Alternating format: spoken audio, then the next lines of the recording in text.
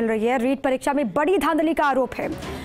मांडन थाना क्षेत्र के ढिकवाड़ कमला महाविद्यालय का ये पूरा मामला। अभ्यर्थियों ने कुछ को ही पेपर देने का आरोप लगाया। बाकी बच्चों के पास सिर्फ़ ओएमआर शीट आई। पहले से ही परीक्षा पत्र खोलने का आरोप लगाया गया है। महाविद्यालय परिसर में परीक्षा कक्ष से बाहर आए बच्चे अब गुस्से में हैं। बच्चों के हाथ में ओएमआर शीट है और मौके पर परिजनों की भीड़ भी दिखाई दे रही है। देखिए, दो तस्वीरें आपको दिखा रहे हैं। प्रशासन को इस पूरे मामले के बारे में अवगत करवा दिया गया, शिकायत की गई है। लेकिन बड़ी संख्या में जो अभ्यर्थी पहुँचे थे परीक्षा देने के लिए, उनमें गुस्सा दिखाई दे रहा है। ओएमआर शीट की कॉपी भी वो दिखा रहे एक तरफ़, और दूसरी तरफ़ आप देखिए, गुस्सा ज़ाहिर करते हुए। अलवर से बड़ी खबर है, रीट परीक्षा में बड़ी धांधली का आरोप लगा रहे हैं। मांडल थाना क्षेत्र के ढिकवाड़ कमला महाविद्यालय का पूरा मसला।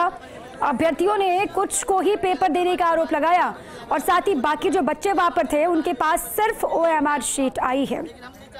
परीक्षार्थी ये भी कह रहे हैं कि पहले से ही परीक्षा पत्र खोला गया है। यह आरोप लगाया जा रहा है। महाविद्यालय परिसर में परीक्षा कक्ष से बाहर बच्चे निकल करके आ गए हैं। पहली पारी की परीक्षा चल रही है दस से लेकर के साढ़े बारह बजे तक, लेकिन बीच में ये परीक्षार्थी बाहर निकले और गुस्सा ज़ाहिर कर रहे हैं। बारह बजे का वक्त, अभी आधा घंटा बाकी था, लेकिन इनका गुस्सा इस तरीके से फूटा कि आरोप लगा रहे हैं कि कुछ को ही परीक्षा का पेपर दिया गया। बाकी जो परीक्षार्थी हैं उनको ओ एम आर शीट पकड़ा दी गई है।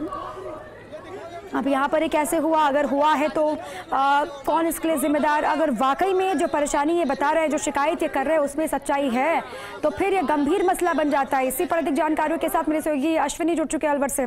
अश्विनी सबसे पहले जो शिकायत कर रहे हैं परीक्षार्थी उसमें कितनी सच्चाई? क्योंकि ओएमआर की शीट लेकर के दिखा रहे हैं कि हमको सिर्फ़ ये मिला बाकियों को पेपर दे दिया गया। देखिए ये जितना परीक्षार्थी यहाँ बता रहे हैं ये पूरी गफलत को बताता है।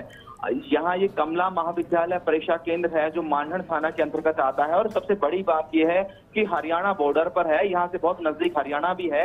आप एक दो किलोमीटर चलने के बाद यहाँ इंटरनेट यूज़ कर सकते हैं, आपको कहीं पेपर भेजना वो यहाँ से हो सकता है।